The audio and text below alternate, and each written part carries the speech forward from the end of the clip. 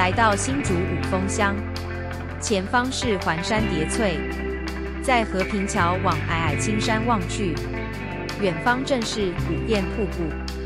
它是一个中型瀑布，有条古堰步道，瀑布隐匿在蓊郁林木间，犹如一条无瑕的白色绢丝，高挂在山林，随风漫舞，藏不住它那一股灵秀婉约之气。却也掩不住他那俏皮娇媚的姿态。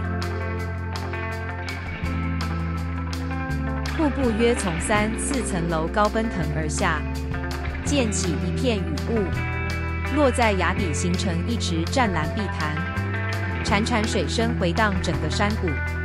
此处没有杂沓的人声，四周幽静林密，偶有燕语与花然水声唱和，如诗如画。这里的美难以言喻。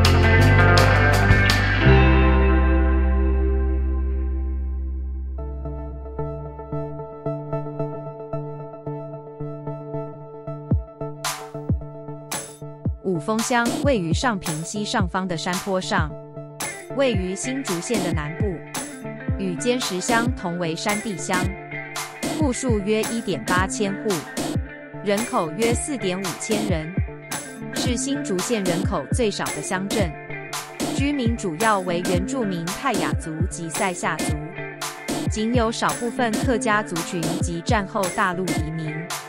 在清代光绪十三年（一千八百八十七），台湾省建省后，隶属新竹县大科坎福垦局五指山分局管辖。日治时期则属五指山福垦署管理的藩地。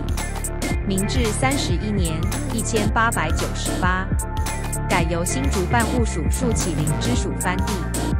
明治三十四年（一九零一）。改立新竹厅竖起林之厅藩地，大正九年（一九二零）改制为新竹州竹东郡藩地。民国时期初期，则又改制为新竹县竹东区藩地。民国三十六年（一九四七）改制为新竹县竹东区五峰乡，下辖大爱、竹林、花园、桃山等四村。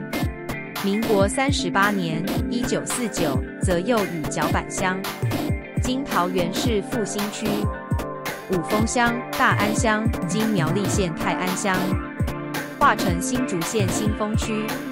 至民国三十九年（一九五零），改制为新竹县五峰乡，沿用至今。五峰一名，通常被认定为因五指山、五峰山。海拔一千零六十二米而得名。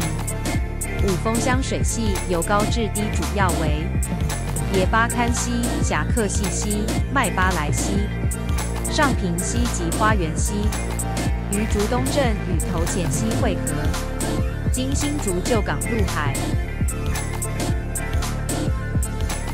泰雅族，清代称为秦面番或王字头番，在台湾原住民族中。纹面 （Potos） 是泰雅族特有的文化，经过纹面者才可论及婚姻。相传上古时代有姐弟二人，帝婚期将至，却无女可娶。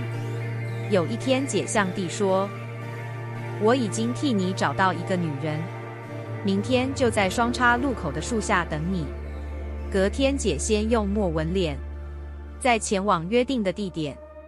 弟认不出她就是姐。遂将他带回家，彼此结为夫妻后繁衍后代，这成为必须经过纹面才可婚嫁的由来。一般在约十五六岁之后，身体发育渐趋稳定后，就可进行纹面。无论男女，皆在额头刺一至七道纵纹，因地区而异。男性需有成功的猎手经验，才可在下巴刺纵纹；女性则需织布技术熟练，并已有月经可以传宗接代，才可环绕双唇并往左右耳际刺横纹。纹面师 p o t t e s 皆为女性，且世代相袭。纹面时以敲锤 （tajin）、敲打刺针 （the tuck） 以黄铜针或缝衣针整排竖起制成。刺入皮肤，在脸上留下伤口，将流出的血拭去后，再涂抹烟灰或火药以留下颜色，并重复相同的动作三到四次，使颜色更加明显。术后以一部或一只猪作为谢礼。传统泰雅族社会严禁婚前与婚外的性行为，认为青年若触犯禁忌。必将遭到祖灵 UDX 的惩戒，导致纹面后的伤口发炎难以愈合，或是施刺后的花纹模糊、颜色暗淡不清。纹面师在施刺之前，会询问受术者是否曾有过婚外情的行为。如果答案是肯定的，必须向祖灵祈祷认错后再施刺。若女性刺纹花纹清楚，色泽黝黑。出嫁时可向男方家族多索要聘礼。纹面的习俗直至日治时期初期才被严格禁止。泰雅族无论男女皆穿耳洞，佩戴耳饰。儿童自五至六岁开始穿耳洞，逐渐更换不同直径的管状耳饰，以扩大耳洞。耳饰 Jinge 彩细主管截断而成，可分为有纹饰与无纹饰两种。无纹饰者为在平日佩戴，以防止耳洞密合；有纹饰者布满几何线纹雕刻，并镶嵌木骨草皮以为装饰。有时前方加上红色毛线绒球。妇女则常与长背板坠饰同时佩戴。泰雅族的神话传说对于人类始祖有不同系统的说法，其中则敖列系统说道。上古时代，在大坝尖山八分高的地方，有一块突出的大石，其内潜藏着一男一女。乌鸦与秀眼画眉 Silic 得知此事，便每日至此祈祷人类出现。一天，Silic 的祈祷奏效，在一声巨响下，大石裂为两半，从中出现一男一女。这对男女至青春期时。对男女性交之事仍全然不知。最初尝试两眼相接，但仍不能满足情欲。后陆续以鼻、耳、手与脚进行交合，但皆失败。这时突然看见两只金银正在交配，两人一样模仿。一说金银停与女子私处，两人乃发现彼此构造的不同，获得性交方法的提示。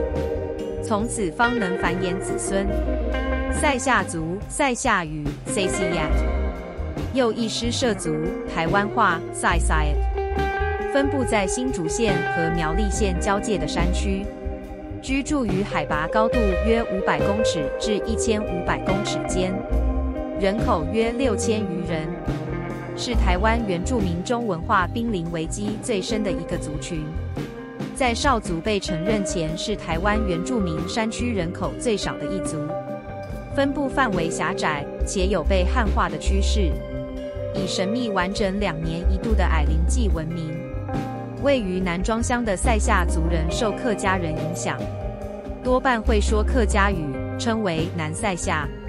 五峰乡的族人受泰雅族影响，大多以说泰雅语为主，称为北塞夏。传说塞夏族的祖先发源于大坝尖山，洪水时期南下到达南阿里山附近，沿着海边到达后来的居住地。塞夏族对外自称 s a s i y a 闽南语译作施舍族，分南北二群。北塞夏自称 Sakilapa，又称大爱群，分布于鹅公济山路一带。南塞夏自称 Say w e l o 又称东河群，分布于向天湖山路附近。现在北群主要分布新竹县五峰乡、大爱村上大爱、高峰、毛埔及竹东镇。南群分布较广，有南庄乡东河、向天湖、蓬莱、八卦力及狮潭乡百寿村等地。塞夏族起源传说依居住地域而有不同的说法。当时尚无文字，都有长辈口传。东北部的塞夏族传说。洪水发生时，仅存于大坝尖山 p a p a q u a k a 泰雅语或 Painable On 之夫妻为始祖，其子孙到大湖苗栗后再向南庄，到目前居住之地。中部的塞夏族传说，与东北部一样，是从大坝尖山的洪水传说开始。他们南下到达 Tamari 或 Tame，据说是阿里山附近。再沿着海边到达竹南、后龙一带居住，按着再往山里走，竹东北埔部曾经居住过。目前分布于台湾北部中央山脉西侧，新竹五峰乡五指山区，与苗栗狮潭、南庄大东西一带，夹杂于泰雅族和客家人之间，深受汉人和泰雅族习俗影响。西南部的塞夏族传说。洪水传说的地点为附近的嘉里山 （Rainara 或 Hana） 后移至沿海的后龙附近，居住甚久以后，逐渐往山脚地带移住。塞夏族的语言分南北二方言群，据语言学家推测，认为是较古老的南岛语言，可能出现在台湾的时间较早。塞夏族最为人知，也最为重要的便是矮灵祭。相传矮人除了教导塞夏族人农耕等技术之外，也教导他们为人处事之道。为了测试塞夏族人是否己受教，乃故意戏弄整人，在丰年祭时会故意跳到塞夏族人的背上，拨弄乱头发或跳舞牵手时吊挂着，致使族人手臂酸痛等等行为。坊间记录矮人性好色。调戏或强奸塞夏族妇女为错误解读及翻译，日积月累之下，塞夏族人们积怨在心，以至于族人用计杀害矮人。此后，塞夏族开始举行矮灵祭，以慰藉矮人的灵魂。矮灵祭举办的时间在农历十月，每两年举办一次小祭，每十年举办一次大祭。每到这时候，外地的族人都会赶回来参加。据说往昔矮灵祭每年都会举办，后来因受到日本政府的反对，而改为两年一次。台湾原住民中，除了塞夏族人相信有矮人的存在外，布农族、邹族、泰雅族、台湾族等，也都有关于矮人的传说。不过，只有本族发展出独特的祭典。这与其族人传说过去与矮人之间密切的恩怨情仇有关。南塞夏会比北塞夏提早一天举行祭仪，虽然分隔两地举办，但两祭团的仪式几乎皆相同，且两祭团的成员会于祭典前后相互讨论、观摩并协助，因此时间的早晚对于族人而言，并没有太大的差别。Música